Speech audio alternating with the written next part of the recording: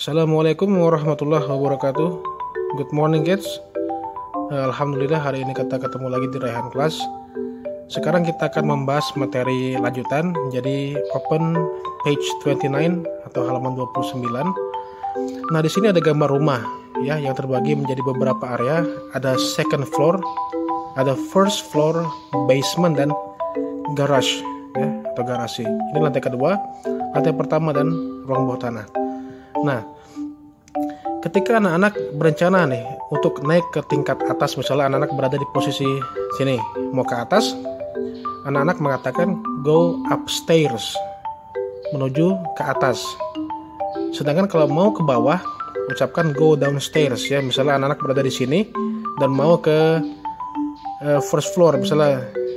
Jadi anak mengatakan go downstairs. Misalnya ada yang mau tanya nih, kita berada di sini kan, ada yang mau tanya hey where do you go? So you can say uh, I go downstairs. Ya. Dan kalau kamu di sini mau ke atas kamu katakan I go upstairs. Jelas? Very good. Oke okay, kids, uh, Alhamdulillah tadi kita sudah membahas halaman 29 Sekarang buka halaman 31 Nah di sini uh, ada dua dialog ya. Oke silakan lihat Yang pertama ada guest with blue t-shirt ya, tamu dengan baju biru. Kemudian ada Dona.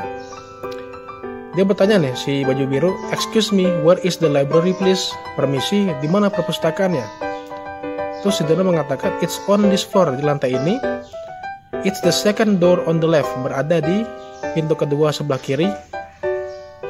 Between the toilets and the infirmary, di antara toilet dan UKS. Ya. Dialog kedua, ada yang menggunakan uh, green t-shirt di sini dan si Melin.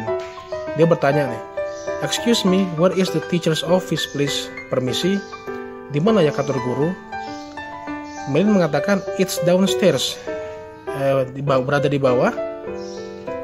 Take the stairs to the basement. Silakan turun ke ruang bawah tanah. It's the third door on the right beside the computer room berada di pintu ketiga sebelah kanan di samping ruang komputer. Ya, bisa lihat di sini. Basement ya. Oke, okay, very good. Oke, okay, anak-anak. Tadi kita sudah membahas dengan jelas sekali tentang um, ruangan ya, baik itu second floor, first floor sampai basement. Nah, tugas anak-anak pada minggu ini adalah mengerjakan halaman 32 ya. Jadi ada yang kosong nih nomor 2 sampai nomor 6 jadi lengkapi titik-titik yang kosong ini dengan kata-kata berwarna biru di sini. Ya, silakan dilihat, diperhatikan berada di sini. First floor-nya, basement sama second floor-nya. Jadi sangat harus detail dan memperhatikan. Ingat untuk menjawab tidak perlu menulis ininya, cukup jawabannya saja. Misalnya nomor satu library sudah, nomor dua langsung pilihannya apa. Jadi tidak perlu lagi kamu menulis soalnya.